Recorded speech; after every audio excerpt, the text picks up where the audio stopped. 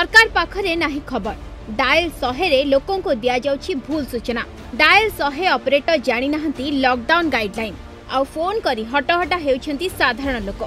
খাস করে নির্মাণ কামে নিয়োজিত ঠিকাদার ଗୋଟେ ପଟେ ଲକଡାଉନ ସମୟରେ ନିର୍ମାଣ କାମକୁ ସରକାର ଅନୁମତି ଦେଇଥିବା ବେଳେ ଅନ୍ୟପଟେ ଡାଏଲ ଶହେ ଅପରେଟର କହୁଛନ୍ତି କେବଳ ସରକାରୀ ନିର୍ମାଣ କାମକୁ ଛାଡ଼ିଦେଲେ ଆଉ କୌଣସି ଲୋକଙ୍କୁ ନିର୍ମାଣ କାମ ପାଇଁ ଅନୁମତି ମିଳିନାହିଁ ଆଉ ଏଭଳି ଘଟଣା ଘଟିଛି ରାଜଧାନୀ ଭୁବନେଶ୍ୱରରେ ଶୁଣନ୍ତୁ ଜଣେ ଠିକାଦାରଙ୍କୁ କ'ଣ କହୁଛନ୍ତି ଡାଏଲ ଶହେର ଅପରେଟର ଆଜ୍ଞା ନମସ୍କାର ଆଜ୍ଞା ଆମର ସାତ ଦିନ ମୁଁ ଗୋଟେ ପାସ୍ ବନେଇଥିଲି ଆମର ପ୍ରଥମେ ଯେତେବେଳେ ଲକଡାଉନ ହେଇଥିଲା ଆଜ୍ଞା ସେ ପାସର କିଛି ଭ୍ୟାଲିଡ ନାହିଁ ଆଉ ସରିଗଲା ଭ୍ୟାଲିଡ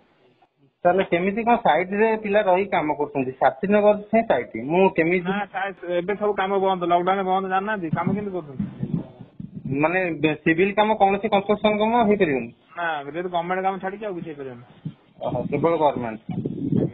ଆଜ୍ଞା ଥ୍ୟାଙ୍କ ୟୁ বর্তমান রাজ্যর চারোটি জেলা গঞ্জাম খোর্ধা কটক ও যাজপুর এবং গোটিয়ে মহানগর নিগম অঞ্চল 31 जुलाई पर्यंत लॉकडाउन लागू करा तेबे ही समय रे अनेक काम को कटक मुक्त रखा